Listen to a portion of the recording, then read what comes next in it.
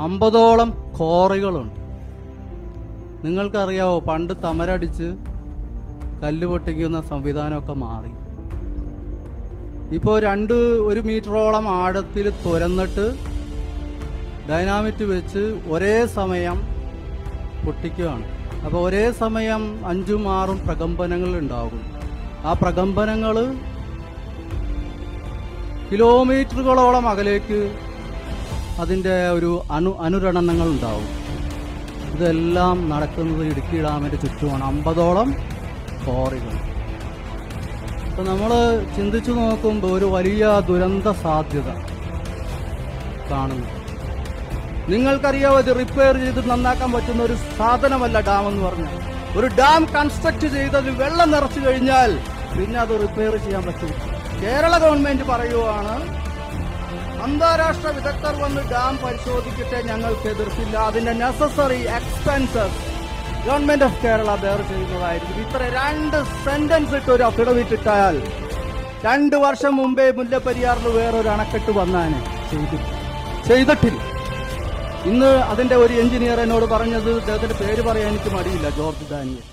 ഉപസമിതിയിൽ ഉണ്ടായിരുന്ന എഞ്ചിനീയറാണ് അദ്ദേഹം പറയുന്നത് ഡാം വട്ടം ഒടിഞ്ഞിരിക്കുന്നു. അതാണ് അവസ്ഥ.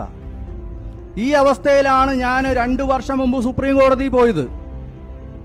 ഞാൻ വലിയ ഗഹനമായ നിയമപ്രശ്നങ്ങളൊന്നും ആയിട്ട് പോയില്ല. ഇന്ത്യയിൽ ഡാം എഞ്ചിനീയറിംഗ് പഠിപ്പിക്കുന്ന യൂണിവേഴ്സിറ്റികളില്ല.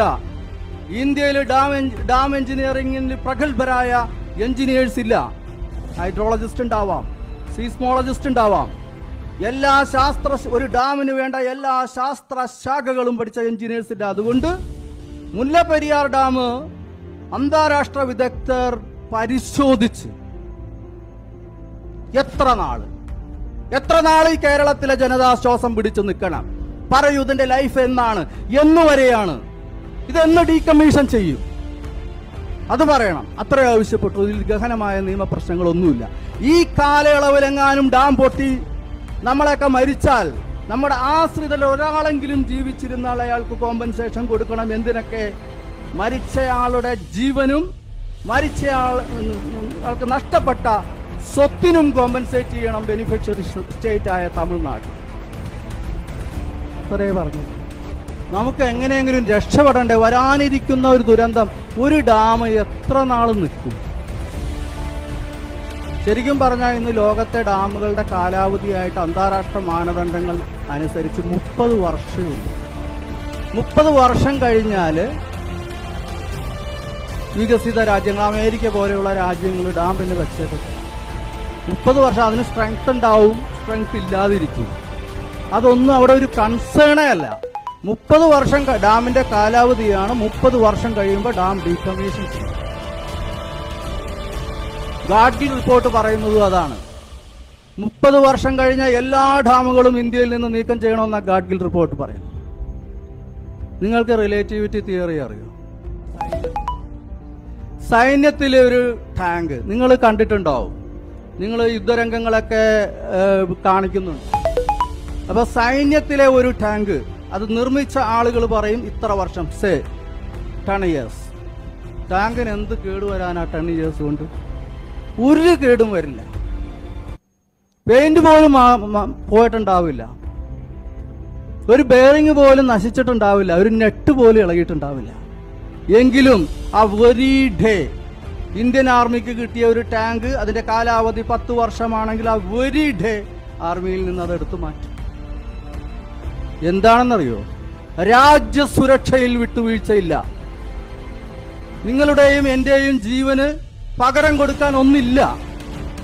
അതുകൊണ്ട് രാജ്യസുരക്ഷയിൽ വിട്ടുവീഴ്ചയില്ല. അതുകൊണ്ട് ടാങ്ക് ആർമിയിൽ മാറ്റും. മുല്ലപ്പെരിയാർ ഡാം എടുത്തു മാറ്റേണ്ടത് ചിന്തിച്ചു നോക്കണം.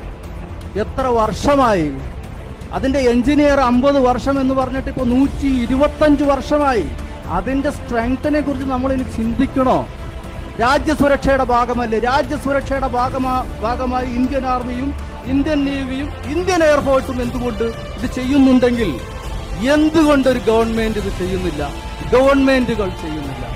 കേരള ഗവൺമെന്റും തമിഴ്നാട് ഗവൺമെന്റും യൂണിയൻ ഓഫ് ഇന്ത്യയും എന്തുകൊണ്ട് ചെയ്യുന്നില്ല?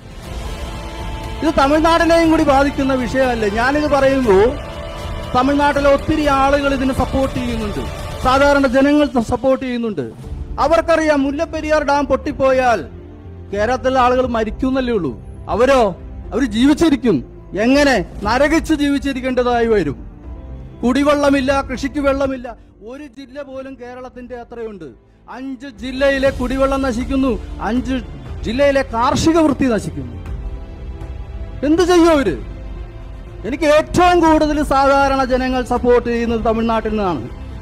പക്ഷെ നിർഭാഗ്യവശാൽ തമിഴ്നാടിന്റെ രാഷ്ട്രീയവും കേരള രാഷ്ട്രീയവും എന്തുകൊണ്ടോ എന്തോ എന്തുകൊണ്ടാണെന്ന് എനിക്കറിയത്തില്ല. എന്തുകൊണ്ട് ഇതിനെ എതിർക്കുന്നു ഒരു പുതിയ ഡാം വരുന്നതിനെ എന്തുകൊണ്ട് എതിർക്കുന്നു? ആ ഡാം നിർമ്മിച്ച ആളുകൾ ആ ഡാം നിർമ്മിച്ച അത് മെയിന്റെയിൻ ചെയ്ത ആളുകൾ അതിന്റെ കൂടെ നടക്കുന്ന എഞ്ചിനീയേഴ്സ് എല്ലാം പറഞ്ഞു ഈ ഡാം വട്ടം ഒടിഞ്ഞിരിക്കുന്നു മോളിൽ കോൺക്രീറ്റ് ക്യാപ്പിംഗ്